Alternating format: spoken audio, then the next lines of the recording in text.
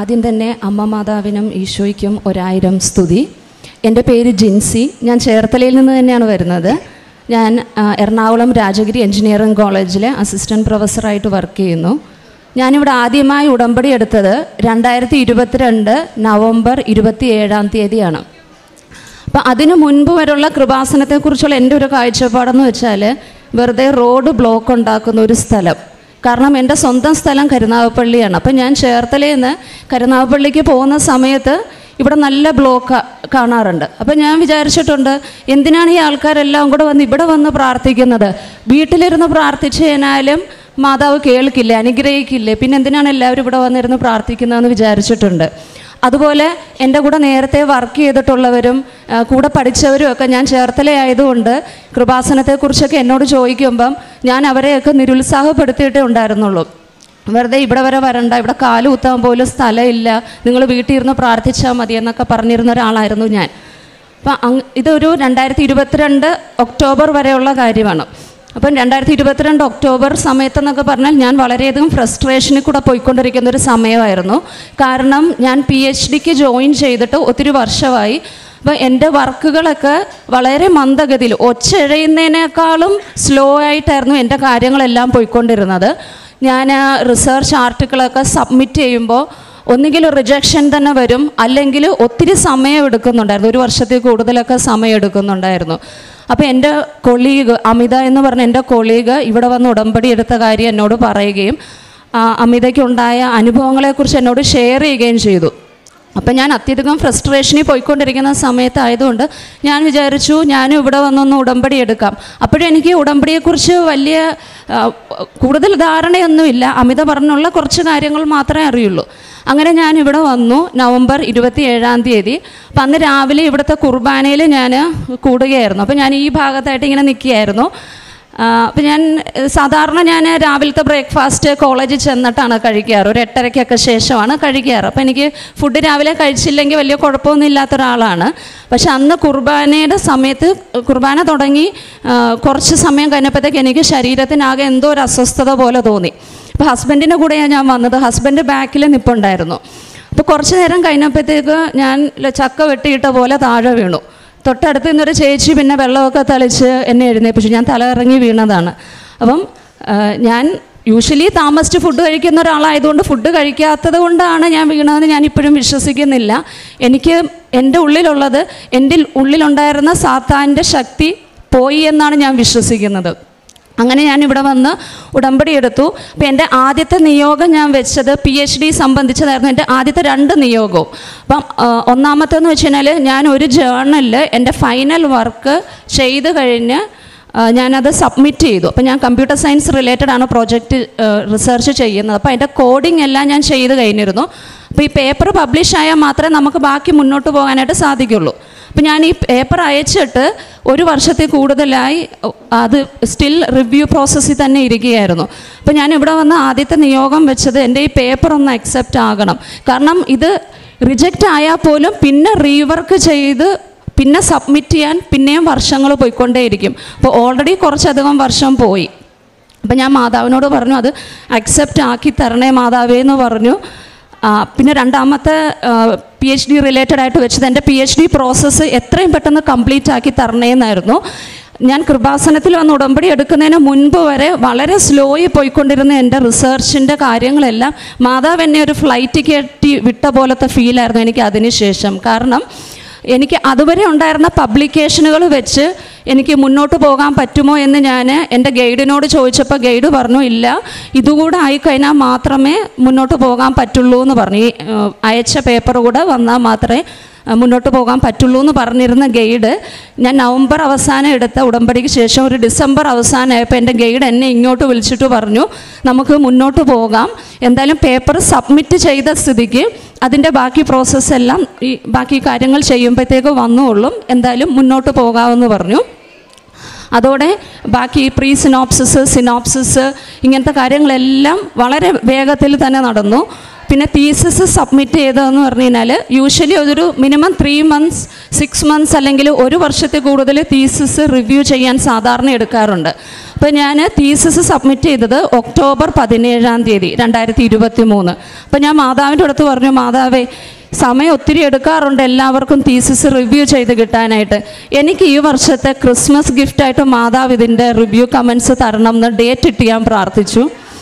എന്നിട്ട് ഇരുപത്തഞ്ചാം തീയതി രാവിലെയൊക്കെ ഞാൻ പ്രതീക്ഷിച്ചിരിക്കുന്നു. ഇരുപത്തിനാലാം തീയതി തൊട്ട് നോക്കുന്നുണ്ട്. മെയിൽ ഒന്നും വരണില്ല ഇരുപത്തഞ്ചാം തീയതി ഉച്ച കഴിഞ്ഞപ്പം എന്റെ ഗൈഡ് എന്നെ വിളിച്ചിട്ട് പറഞ്ഞു ജിൻസിക്ക് ഒരു ക്രിസ്മസ് ഗിഫ്റ്റ് ഉണ്ട്. റിവ്യൂ കമൻസ് വന്നിട്ടുണ്ട്. വലിയ ചേഞ്ചസ് ഒന്നുമില്ല അവിടുത്തെ ഉടനെ തന്നെ ഓപ്പൺ ഡിഫൻസ് നടക്കും എന്ന് പറഞ്ഞു. ഈ കഴിഞ്ഞ ഒരാഴ്ചയ്ക്ക് മുന്നേ ഫെബ്രുവരി ഇരുപത്തി ആറാം തീയതി എന്റെ ഓപ്പൺ ഡിഫൻസ് നടന്നു. എനിക്ക് ഡോക്ടറേറ്റ് ഡിഗ്രി ലഭിച്ചു. ഞാൻ അതിന്റെ വൈവ് അറ്റൻഡ് ചെയ്യാൻ പോകുന്ന സമയത്ത് ഞാൻ മാതാവിന്റെ തൈലം എന്റെ നാവിൽ പുരട്ടിയിട്ടാണ് പോയത്. കാരണം എനിക്ക് ടെൻഷൻ പ്രസന്റ് ചെയ്യുമ്പോഴൊക്കെ ഉള്ള ടെൻഷനും കാര്യങ്ങളൊക്കെ ഉണ്ടായിരുന്നു. അപ്പോൾ ഞാൻ ആ തൈലം പുരട്ടിയിട്ടാണ് ഞാൻ വൈവയ്ക്ക് അറ്റൻഡ് ചെയ്യാൻ കയറിയത്. പിന്നെ ഞാനാണോ അത് സംസാരിച്ചതെന്ന് പോലും എനിക്ക് അറിയാത്ത രീതിയിലായിരുന്നു. കാരണം എനിക്ക് എങ്ങും നിർത്തേണ്ടി പോലും വരാത്ത രീതിയിൽ എല്ലാം കറക്റ്റായിട്ട് എനിക്ക് സംസാരിക്കുവാനും ക്വസ്റ്റ്യൻ ചോദിച്ചതിനെല്ലാം കറക്റ്റായിട്ട് എനിക്ക് ആൻസർ പറയുവാനുമായിട്ട് മാതാവിനെ അനുഗ്രഹിച്ചു. പിന്നെ അടുത്തൊരു നിയോഗം എന്ന് പറയുന്നത് കഴിഞ്ഞ രണ്ടായിരത്തി ഇരുപത്തി മൂന്ന് ഓഗസ്റ്റ് നമ്മുടെ ഓണം വെക്കേഷന്റെയൊക്കെ സമയമായപ്പം ഞാൻ മക്കളുടെ കൂടെ ഇരുന്ന് ക്രാഫ്റ്റ് വർക്ക് ചെയ്യുന്ന സമയത്ത് എന്റെ മൂക്കിൽ നിന്ന് ഒരു മൂക്കിൽ നിന്ന് ഒരു ഫ്ലൂയിഡ് ഇങ്ങനെ താഴേക്ക് വീണു. അത് ആദ്യം ഒരു രണ്ട് തുള്ളിയാണ് വീണത്. അപ്പം വലിയ കാര്യമായിട്ട് എടുത്തില്ല. പിന്നെ പോകെ പോകെ ഓരോ ദിവസം കൂടും തോറും ഈ മൂക്കിൽ നിന്ന് വരുന്നു ഒരു മൂക്കിൽ നിന്നേ വരുന്നുള്ളൂ. ഈ മൂക്കിൽ നിന്ന് വരുന്ന ഫ്ലൂയിഡിന്റെ ക്വാണ്ടിറ്റി കൂടാൻ തുടങ്ങി. അതിന്റെ ഫ്രീക്വൻസിയും കുറയാൻ തുടങ്ങി. പെട്ടെന്ന് പെട്ടെന്ന് വരാനായിട്ട് തുടങ്ങി. അപ്പോൾ ഒന്ന് ചെറുതായിട്ട് പേടിച്ചു. അപ്പോൾ ഞാൻ ഗൂഗിളിൽ സെർച്ച് ചെയ്തു ഇതെന്താ സംഭവം എന്നുള്ളത്. കാരണം ഇത് നമ്മുടെ സാധാരണ മൂക്കിൽ നിന്ന് വരുന്ന മ്യൂക്കസ് അല്ല. അതിനൊരു പശപശപ്പ് പോലെ ഉണ്ട്. ഇത് വെറും വെള്ളം. വെള്ളം തൊടുമ്പോൾ ഉള്ളൊരു അതേ ടെക്സ്ചറാണ് ഇതിന്റെ വരുന്നത്. അപ്പം ഞാൻ ഒന്ന് പേടിച്ചു. നെറ്റിലൊക്കെ നോക്കിയപ്പം ഇത് സെറിബ്രോ സ്പൈനൽ ഫ്ലൂയിഡ് ആകാനാണ് ചാൻസ്. അതിന്റെ ഫ്രീക്വൻസി എന്ന് വെച്ചാൽ കൂടുതൽ ക്വാണ്ടിറ്റിയിൽ പോയി കഴിഞ്ഞാൽ മെനിഞ്ചൈറ്റിസ് പിന്നെ വലിയ വലിയ ഹെൽത്ത് ഇഷ്യൂസ് ഒക്കെ ഉണ്ടാകും എന്ന് വായിക്കാനിടയായി. വളരെയധികം ഭയപ്പെട്ടു. വീട്ടിലെല്ലാവരും തന്നെ ഒന്ന് ഭയപ്പെട്ടു. അപ്പോൾ എന്റെ ഹസ്ബൻഡ് ആണെങ്കിൽ ലൂർദിൽ ഒരു ഡോക്ടറിന്റെ അടുത്ത് അപ്പോയിൻമെന്റ് എടുത്തു കാണിക്കാനായിട്ട്. അപ്പോൾ രണ്ട് ദിവസം കഴിഞ്ഞിട്ടാണ് അപ്പോയിൻമെന്റ് കിട്ടിയേക്കുന്നത്. അപ്പോൾ ഞാൻ മാതാവിന്റെ അടുത്ത് പറഞ്ഞു എനിക്ക് ആ ഡോക്ടറെ പോയി കാണണ്ട.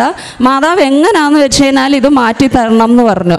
അന്ന് ആ പ്രാർത്ഥിച്ച് പ്രാർത്ഥിച്ചത് ഞാൻ തൈലവും തൊട്ട് പ്രാർത്ഥിച്ചു. മാതാവിന്റെ കാശുരൂപം പിടിച്ചിട്ടാണ് ഞാൻ പ്രാർത്ഥിച്ചത്. ഈ കാശുരൂപം എപ്പോഴും എന്റെ കഴുത്തിലുള്ള കൊന്തയിൽ തന്നെ ഉണ്ട് അപ്പം അത് വെച്ചിട്ടാണ് ഞാൻ പ്രാർത്ഥിച്ചത്. ഉപ്പ് ഞാൻ വായിൽ ഇട്ട് നുണഞ്ഞു. ഇതെല്ലാം ചെയ്തതിന് ശേഷം സ്വിച്ച് ഇട്ട പോലെ എന്റെ ആ മൂക്കിൽ നിന്ന് വരുന്ന ഫ്ലൂയിഡ് വരുന്നത് നിന്നു. ഇന്ന് വരെ അതിന് ശേഷം എന്റെ മൂക്കിൽ നിന്ന് ആ ഫ്ലൂയിഡ് വന്നിട്ടില്ല. പിന്നീടുള്ളൊരു കാര്യം എന്ന് പറഞ്ഞു കഴിഞ്ഞാൽ എന്റെ ഇളയ മകൾക്ക് വിട്ടുമാറാത്ത പനിയായിരുന്നു. അതിനിപ്പം ഏഴ് വയസ്സ്. ഞാനിവിടെ നിയോഗം വെക്കുന്ന സമയത്ത് ആറ് വയസ്സ് യു കെ ജിയിലായിരുന്നു. ഒരാഴ്ച സ്കൂളിൽ ചിലപ്പം ഒരു ദിവസമൊക്കെ പോകാറുണ്ടായിരുന്നുള്ളൂ. എന്നും പനിയാണ്. ചെറിയ എന്തെങ്കിലും ഒരു അലർജി വന്നാൽ അപ്പം പനിയാണ്. അപ്പം ഞാൻ മാതാവിന്റെ അടുത്ത് അത് നിയോഗം വെച്ച് പ്രാർത്ഥിച്ചു. എന്നിട്ട് ഞാൻ തൈലം ഏഹ്, കാശുരൂപം കയ്യിൽ പിടിച്ച് തൈലം മോളുടെ നെറ്റിയിൽ കുരിച്ച് വരച്ച് പ്രാർത്ഥിച്ചു. അതിനുശേഷം അവൾക്ക് ആ പനി വന്നിട്ടില്ല. വൺസിനെ വയൽ ചെറിയ പനി വരും പക്ഷെ ആ വിട്ടുമാറാത്ത പനി പിന്നീട് വന്നിട്ടില്ല. അത് അതുവഴി മോൾക്ക് വളരെയധികം വിശ്വാസം ഉണ്ടായി. അപ്പോൾ ഇപ്പം ഒന്ന് ചെറുതായിട്ടൊന്ന് തുമ്മിയാൽ പോലും മോൾ പറയും മമ്മി മാതാവിന്റെ ആ എണ്ണ എടുത്ത് എന്റെ നെറ്റിയിൽ തൊടുവെന്ന് പറയും അപ്പോൾ ഒരു ദിവസം വെറുതെ ചുമച്ചു. ചുമച്ചപ്പോൾ ഉടനെ പറഞ്ഞു എനിക്ക് പനി വരാൻ പോകുന്നുണ്ട്. മമ്മി എന്തായാലും പനി വരുന്നതിന് മുന്നേ ആ തൈലം വെച്ച് പ്രാർത്ഥിക്കാൻ പറഞ്ഞു. അപ്പോൾ അത് ചെറുതായിട്ട് ചുമച്ചതായതുകൊണ്ട് ഞാൻ വലിയ സീരിയസ് ആയിട്ട് എടുത്തില്ല. ഞാനപ്പോൾ അവളെ കാണിക്കാൻ വേണ്ടിയിട്ട് ജസ്റ്റ് തൈലം ഒന്ന് കുരിശ് വരച്ചു. അപ്പോൾ ഉടനെ പറഞ്ഞു ഇങ്ങനെ വെറുതെ തൈലം വെച്ചാലൊന്നും മാതാവ് അനുഗ്രഹിക്കത്തില്ല. മമ്മി ആ കാശ് രൂപത്തിൽ തൊട്ട് വെച്ച് പ്രാർത്ഥിച്ചാൽ മാത്രമേ മാതാവ് കേൾക്കുള്ളൂ എന്ന് പറഞ്ഞു അപ്പോൾ ആറു വയസ്സുള്ളൊരു കുട്ടിക്ക് മാതാവിൽ ഭയങ്കര വിശ്വാസം ഉണ്ടായി. പിന്നെ എന്റെ മൂത്ത മോളിൽ എന്ന് വെച്ച് കഴിഞ്ഞാൽ ആത്മവിശ്വാസം ഒട്ടുമില്ല എന്തെങ്കിലും ഒരു കാര്യം പഠിക്കുന്നതാണേലും എന്തെങ്കിലും കോമ്പറ്റീഷന് പോവുകയാണേലും എല്ലാം എന്നെ കൊണ്ട് പറ്റില്ല മമ്മി. വേറെ ആൾക്കാരുടെ കൂടെ കോമ്പറ്റ് ചെയ്യാൻ എനിക്ക് പറ്റില്ല. ട്രൈ ചെയ്ത് നോക്കാവുന്ന പോലും പറയാറില്ല അപ്പം നമ്മൾ വീട്ടിലെപ്പോഴും നീ ഒന്ന് നോക്ക് കിട്ടിയോ കിട്ടിയില്ലയോ വേറെ വിഷയം. നീ ഒന്ന് ട്രൈ ചെയ്ത് നോക്കെന്ന് പറഞ്ഞാൽ ഒട്ടും കോൺഫിഡൻസ് ഇല്ലാത്ത ഒരാളായിരുന്നു. അപ്പോൾ കഴിഞ്ഞ വർഷം അതായത് ഇപ്പോൾ ആറാം ക്ലാസ്സിലാണ് പഠിക്കുന്നത്. അപ്പോൾ സ്കൂൾ ലെവൽ കോമ്പറ്റീഷനൊക്കെ വരുമ്പോൾ പരിപാടിക്ക് പേര് കൊടുത്താൽ അപ്പോൾ തൊട്ട് ടെൻഷനാണ് എനിക്ക് പറ്റില്ല വേറെ കോമ്പറ്റീറ്റേഴ്സിനെ എനിക്ക് ഫേസ് ചെയ്യാൻ പറ്റില്ല ഇങ്ങനത്തെ ഒരു ചിന്തയായിരുന്നു. അപ്പോൾ മോൾ നല്ലതായിട്ട് ക്ലാസിക്കൽ ഡാൻസ് കളിക്കും. അപ്പോൾ സ്കൂളിൽ കോമ്പറ്റീഷന്റെ സമയത്ത് സ്കൂൾ ലെവൽ കോമ്പറ്റീഷൻ ജയിച്ചാലാണ് സി ബി എസ് സിയുടെ ഡിസ്ട്രിക്റ്റ് കലോത്സവത്തിനൊക്കെ പോകാൻ പറ്റുക. അപ്പോൾ സ്കൂളിൽ കോമ്പറ്റീഷന്റെ സമയത്ത് ഇവൾ ഒരുങ്ങി ക്ലാസിക്കലിന്റെ ഡ്രസ്സൊക്കെ ഇട്ട് എല്ലാം ഒരുങ്ങി. അന്ന് രാവിലെ സ്കൂളിൽ ചെന്ന് കഴിഞ്ഞിട്ട് ബാക്കി കോമ്പറ്റീറ്റേഴ്സിനെയൊക്കെ കണ്ടപ്പോഴത്തേക്ക് ആൾ ഭയങ്കര ടെൻഷനായി. ഉള്ള ആത്മവിശ്വാസം എല്ലാം പോയി. ഛർദ്ദിക്കാൻ വരുന്നു തല കറങ്ങുന്നു അങ്ങനത്തെ വല്ലാത്ത ബുദ്ധിമുട്ട്. അപ്പം ഞാൻ പറഞ്ഞു മാതാവ് കൊണ്ട് കൂടെ എന്തായാലും. അപ്പം മാതാവിന്റെ കാശ്രൂപത്തിൽ മോൾ തൊട്ട് പ്രാർത്ഥിച്ചു. മോളെ നെറ്റിയിൽ ഞാൻ കുരിശു വരച്ചു. തൈലം തൊട്ട് കുരിശു വരച്ചു. മോൾ ഡാൻസ് കളിച്ചു കളിക്കാൻ കയറി കളിച്ചൊരു പകുതിയൊക്കെ ആയപ്പോഴത്തേക്ക് ഇപ്പോൾ ഇവളുടെ ഡാൻസ് സ്ഥിരമായിട്ട് ഞാൻ കണ്ടിട്ടുള്ളത് കൊണ്ട് ഏതാ സ്റ്റെപ്പെന്ന് എനിക്കറിയാം. ഞാൻ നോക്കുമ്പോൾ ഒരു ഒരു ഇത്ര സമയം കഴിഞ്ഞപ്പോഴത്തേക്ക് ഇവൾ വേറെ എന്തോ സ്റ്റെപ്പാണ് കളിക്കുന്നത്. അവിടെ കളിക്കേണ്ട സ്റ്റെപ്പേ അല്ല കളിക്കുന്നത്. അപ്പോൾ എനിക്ക് മനസ്സിലായി ടെൻഷൻ കയറിയിട്ടാണ് ഇത് മൊത്തം മുഴുമിപ്പിച്ചിട്ട് ഇറങ്ങുമെന്ന് പോലും എനിക്ക് തോന്നിയില്ല. അപ്പം ഞാൻ മാതാവിന്റെ അടുത്ത് കാശ് രൂപത്തിൽ തൊട്ട് ഞാൻ പ്രാർത്ഥിച്ചു മാതാവ് അവൾ മൊത്തം കളിച്ചിട്ട് ഇറങ്ങണേന്ന് പ്രാർത്ഥിച്ചു. എന്നിട്ട് ഞാൻ ചോദിച്ചു മാതാവെ ഞാൻ ചോദിച്ചതായിരുന്നില്ലേ? ഇവളെ ഇപ്രാവശ്യം ഒന്ന് ഇവൾക്ക് കോൺഫിഡൻസ് എനിക്കൊന്ന് കൂട്ടാനായിട്ട് ഇവൾ ഇപ്രാവശ്യം ഒന്ന് ജയിക്കാൻ. അല്ലെങ്കിൽ എനിക്ക് ഒരിക്കലും ഇവളെ പിന്നെ പറഞ്ഞ് എനിക്ക് ശരിയാക്കാൻ പറ്റില്ല. എത്ര ഞങ്ങൾ ഉപദേശിക്കുമ്പോഴാണേലും ഇല്ല മമ്മി എന്നെ കൊണ്ട് പറ്റില്ല പറ്റില്ല എന്ന് പറഞ്ഞുകൊണ്ടിരുന്ന ആളായിരുന്നു. അങ്ങനെ പക്ഷേ റിസൾട്ട് അനൗൺസ് ചെയ്തപ്പോഴത്തേക്ക് അവൾക്ക് ഫസ്റ്റ് ഉണ്ട്. അവൾ സി ബി എസ് സിയിലെ ഡിസ്ട്രിക്ട് കലോത്സവത്തിനും ഫസ്റ്റ് കിട്ടി. അപ്പോൾ അവിടെ പോകുന്ന സമയത്ത് അവൾ പറഞ്ഞു മമ്മി എനിക്കൊരു കോൺഫിഡൻസ് വന്നിട്ടുണ്ട്. മാതാവ് എന്നെ അനുഗ്രഹിച്ചിട്ടുണ്ട്. ഞാൻ പ്രാർത്ഥിച്ചതുകൊണ്ട് മാതാവ് എന്നെ അനുഗ്രഹിച്ചിട്ടുണ്ട്. എനിക്കിപ്പോൾ ട്രൈ ചെയ്ത് നോക്കാം എന്നൊരു ഫീലാണ് അതുകൊണ്ട് ഇപ്പം ഏതെങ്കിലും എക്സാമിനാണേലും കോമ്പറ്റീഷനൊക്കെ പോകുന്ന സമയത്ത് പഠിക്കുമ്പോഴാണേലും ഞാൻ ട്രൈ ചെയ്ത് നോക്കട്ടെ. ആ ഒരു വ്യത്യാസം. മറ്റേത് എത്ര നമ്മൾ പറഞ്ഞാലും ഒരു കാര്യം ട്രൈ ചെയ്യാത്ത ഒരാളായിരുന്നു.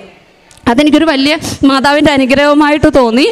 പിന്നീട് എന്റെ കസിൻ ഹസ്ബൻഡിന്റെ കസിന് മുപ്പത് വയസ്സൊക്കെ ആയിട്ടും കല്യാണമൊന്നും ആകുന്നില്ലായിരുന്നു. അങ്ങനെ ഞാൻ അത് നിയോഗം വെച്ച് ഇവിടെ പ്രാർത്ഥിച്ചതിന്റെ ഫലമായിട്ട് ഈ കഴിഞ്ഞ ജനുവരിയിൽ ആ പയ്യന്റെ കല്യാണം നടന്നു. നല്ലൊരു പെൺകുട്ടീനെ മാതാവിന്റെ കൃപയാലെ അവന് വൈഫായിട്ട് കിട്ടി. ഇത്രയാണ് ഞാൻ നിയോഗം വെച്ചതിൽ എനിക്ക് കിട്ടിയത്. അല്ലാത്ത എനിക്ക് മാതാവിന്റെ ഇഷ്ടംപോലെ അനുഗ്രഹങ്ങൾ. നമ്മൾ പ്രാർത്ഥിക്കുമ്പോഴെപ്പോഴും മാതാവ് കൈവിടില്ല. എനിക്കത് ഒത്തിരി സമയത്ത് ഫീൽ ചെയ്തിട്ടുണ്ട്. പിന്നെ ആത്മീയമായിട്ട് എനിക്കുണ്ടായ ഒരു വളർച്ചയെന്ന് എനിക്ക് തോന്നുന്നത് ഞാൻ സാധാരണ ഞായറാഴ്ച മാത്രം പള്ളിയിൽ പോകുന്ന ഒരാളായിരുന്നു. അപ്പോൾ ഞാൻ വർക്ക് ചെയ്യുന്നത് രാജഗിരി എഞ്ചിനീയറിംഗ് കോളേജിൽ അവിടെ ആക്ച്വലി ഒരു ചാപ്പലുണ്ട് എല്ലാ വെള്ളിയാഴ്ച ഉച്ചയ്ക്കത്തെ ലഞ്ച് ബ്രേക്കിന് അവിടെ കുർബാനയുണ്ട്. ഞാനൊരു പന്ത്രണ്ട് വർഷത്തിന് മുകളിലായി അവിടെ ജോലി ചെയ്യാൻ തുടങ്ങിയിട്ട്. പക്ഷേ ഞാൻ ഉടമ്പടി എടുക്കുന്നതിന് മുന്നേ വരെ അവിടുത്തെ ചാപ്പലിൽ പോയി ഞാൻ കുർബാന അറ്റൻഡ് ചെയ്തിട്ടേ ഇല്ല. ആ ഫ്രൈഡേ ആക്ച്വലി ലോങ് ബ്രേക്ക് ആണ് ലഞ്ച് ബ്രേക്ക് അപ്പോൾ ഞാൻ വിചാരിച്ചിട്ടുള്ളതാണ് പുറത്ത് പോയി ഫുഡ് കഴിക്കുക അല്ലെങ്കിൽ വേറെ അക്കാഡമിക് കാര്യങ്ങൾ എന്തെങ്കിലും ഉണ്ടെങ്കിൽ അത് ചെയ്ത് തീർക്കാമെന്ന് വിചാരിച്ച് കുർബാനയ്ക്ക് പോയിട്ടേ ഇല്ലാത്ത ഒരാളായിരുന്നു ഞാൻ. പക്ഷെ ഉടമ്പടി എടുത്തതിന് ശേഷം എല്ലാ വർക്കിംഗ് ഡേ ആയിട്ടുള്ള വെള്ളിയാഴ്ചകളിലും ഞാൻ അവിടെ മുടക്കം വരുത്തിയിട്ടില്ല. അവിടെ കുർബാന അറ്റൻഡ് ചെയ്യാറുണ്ട്.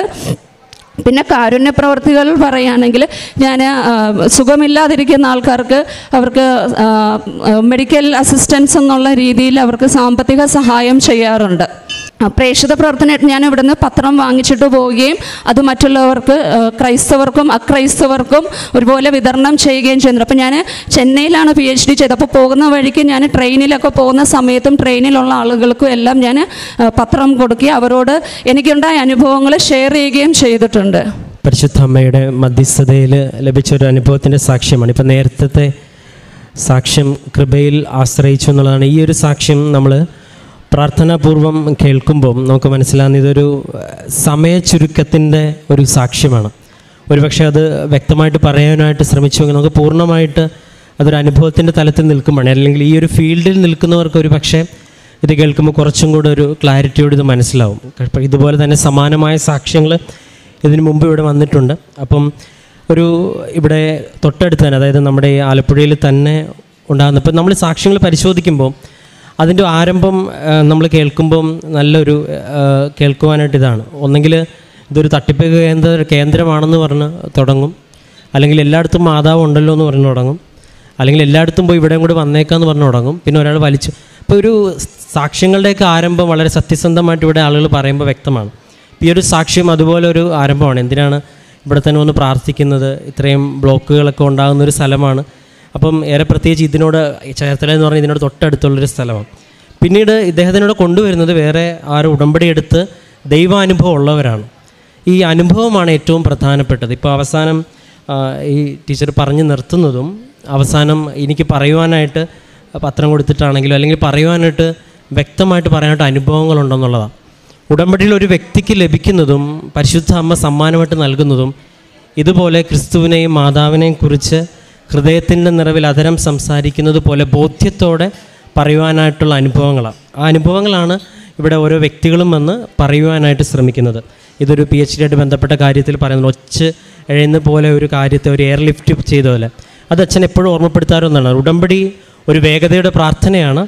അത് മെറ്റിക്കുലസ് ആയിട്ട് അത് ഒരാൾ പ്രാക്ടീസ് ചെയ്ത അല്ലെങ്കിൽ അത് വർക്കൗട്ട് ചെയ്യാൻ ശ്രമിച്ചാൽ ദൈവം അതിൽ ഇടപെടുമെന്നുള്ള കാര്യത്തിൽ ഒരു സംശയമില്ല ഇതൊരു പ്രിസൈസ് ആയിട്ടുള്ള ആക്യുറേറ്റ് അല്ലെങ്കിൽ ദൈവം ഇടപെട്ടേക്കാം ദൈവം അത്ഭുതം തന്നേക്കാം എന്നുള്ളൊരു ഒരു സാധ്യതയുടെ പ്രൊബബിലിറ്റി തിയറോ അല്ല. അതിനേക്കാളപ്പുറം ഒരു മസ്റ്റായിട്ട് ദൈവം ഇതിലൊരു സാധ്യത ഒരു ഇടപെടലുണ്ടാവും അത് കാരണം എന്ന് പറഞ്ഞാൽ ഇത് ഒരു കാര്യമല്ല മറ്റു കാര്യത്തിലേക്ക് ഒരു മക്കളിലേക്ക് പോലും അത് പല സാക്ഷ്യങ്ങൾ ആവർത്തിക്കുന്നുണ്ട്. നിങ്ങൾ ശ്രദ്ധിച്ചാൽ മതി. ഇപ്പോൾ ഇപ്പോൾ അമ്മമാർ പറഞ്ഞ സാക്ഷ്യത്തിൽ മക്കൾക്ക് പോലും അവർക്ക് മക്കളെ സംബന്ധിച്ചിടത്തോളം അവർക്ക് ഈ പ്രാർത്ഥിക്കുമ്പം ഒരു പരിധിവരെ വടിയെടുത്തും മുട്ടൂത്തിയും അടിച്ചൊക്കെ ആയിരിക്കും പ്രാർത്ഥിക്കണം. പക്ഷേ അവർ പോലും പതുക്കെ പതുക്കെ മാതാവിനെ വിളിച്ച് പ്രാർത്ഥി ഇങ്ങനല്ല പ്രാർത്ഥിക്കേണ്ടത് രൂപമുത്തിയാണ് പ്രാർത്ഥിക്കേണ്ടത് കാശിരുപയോഗിച്ച് പ്രാർത്ഥിക്കണമെന്നൊക്കെ പറയുന്ന രീതിയിൽ മാതാപിതാക്കളുടെ വിശ്വാസ ജീവിതം കുറച്ചും കൂടെ പ്രകടമായിട്ട് മാറുമ്പം മക്കളിലേക്ക് അത് സ്വാധീനിക്കും. ഒരു പക്ഷേ പള്ളിയിൽ കൊടുക്കുന്ന കാറ്റിക്കസത്തിനൊക്കെ കൂടുതൽ വീട്ടിൽ നിന്നാണ് ലഭിക്കും. ഇപ്പോൾ ഈ പറഞ്ഞ രണ്ട് പിള്ളേരും ചെറിയ പിള്ളേരാണ്. അവർക്കൊക്കെയും ഇങ്ങനെ വ്യക്തിമായിട്ട് അവർക്ക് തന്നെ